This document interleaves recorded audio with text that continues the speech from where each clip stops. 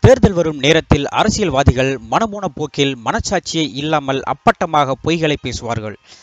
அதன் மூலம் மக்களை தன் பக்கம் இழுக்க முயற்சிப்பார்கள். அந்த வகையில் அதற்கு நாட்டின் பிரதமரும் விதிவிலக்கல்ல.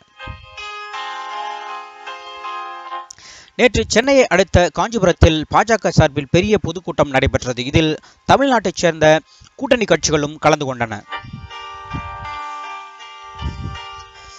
அப்போது பிரதமர் பேசிய வார்த்தைகளை நம்மால் ஜீரணிக்க முடியாத அளவிற்கு இருந்தது. அதாவது தமிழர்களுக்கு பிரச்சனை என்றால் முதல் ஆளாக நான் ஓடி வருவேன் என்றார் பிரதமர் மோடி. இது மோடி அவர்கள் பேசிய பொய்களிலேயே மிக மிக முக்கிய மற்றும் அப்பட்டமான பொய் பேச்சாகும்.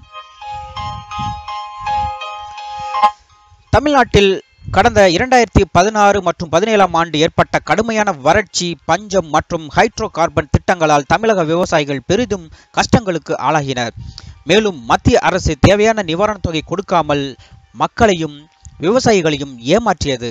இதனால் இந்தியாவின் தலைநகரான டெல்லியில் பிரதமர் அலுவலகத்திற்கு அருகே சந்தர் மந்தர் பகுதியில் தங்களுடைய பிரச்சனைகளை தீர்த்து வைக்க வேண்டி ஐயாக்குன்னு தலைமையில் சுமார் நூறுக்கும் மேற்பட்ட தமிழக விவசாயிகள் கையில் திருவோடி ஏந்தி போராட்டம் நடத்தினர். இதன் மூலம் தங்களது பிரச்சனைகளை பிரதமர் தீர்த்து வைப்பார். வறட்சி காரணமாக தங்கள் வாங்கிய கடன்களை தள்ளுபடி செய்வார் என்று எண்ணிய விவசாயிகளுக்கு கடைசியில் ஏமாற்றம்தான் மிஞ்சியது. ஆம் பிரதமர் சிறிதும் எட்டி பார்க்கவில்லை. இதனால் விவசாயிகள் ஒரு பக்க மீசையையும் ஒரு பக்க தலைமுடியையும் வெட்டினர். அப்போதும் பிரதமர் மோடி வரவில்லை.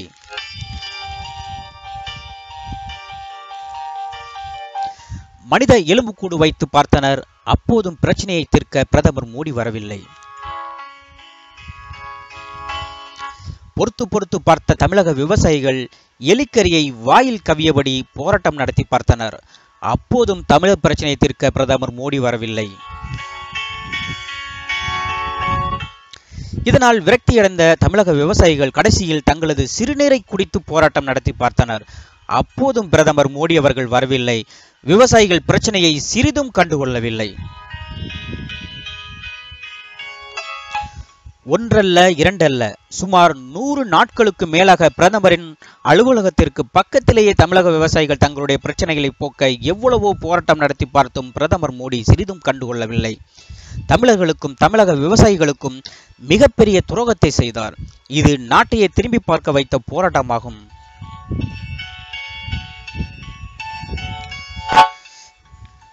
ஒரு நாட்டின் முதுகெலும்பாக இருக்கும் விவசாயிகளை சந்திக்க அதுவும் சனி ஞாயிறு என்ற விடுமுறை நாட்களில் கூட சந்திக்க நேரமில்லை என்று சொல்லி வந்த பிரதமர் மோடி நடிகை பிரியங்கா சோப்ராவின் திருமணத்திற்கு சென்று மணிக்கணக்கில் பேசிவிட்டு வந்தார். இது ஒரு பிரதமருக்கு அழகா? தமிழக பிரச்சனைகளையும் தமிழக மக்களின் கஷ்டங்களையும் தமிழக விவசாயிகளின் கஷ்டங்களையும் சிறிதும் கண்டுகொள்ளாமல் மனசாட்சியே இல்லாமல் நேற்று தமிழர்களுக்கு ஒரு பிரச்சனை என்றால் நான் ஓடோடி வருவேன் என்று பேசும்போது பிரதமர் மோடிக்கு நாக்கு கூசவில்லையா? பணத்திற்காகவும் பதவிக்காகவும் அனைத்து அரசியல்வாதிகளும் தேர்தல் நேரத்தில் பொய் பேசி மக்களை ஏமாற்றுகிறார்கள் என்றால் நாட்டின் பிரதமரே இந்த மாதிரியான கீழ்த்தரமான காரியங்களில் செயல்பட்டால் நாடும் நாட்டு மக்களும் விவசாயிகளும் எப்படி முன்னேற்றம் அடைவார்கள்? மக்களாகிய நீங்கள் இனியாவது சரியான தலைவர்களை தேர்ந்தெடுக்காவிட்டால் உங்களை விட உங்களுடைய பிள்ளைகள் தான் மிகவும் கஷ்டப்படுவார்கள்.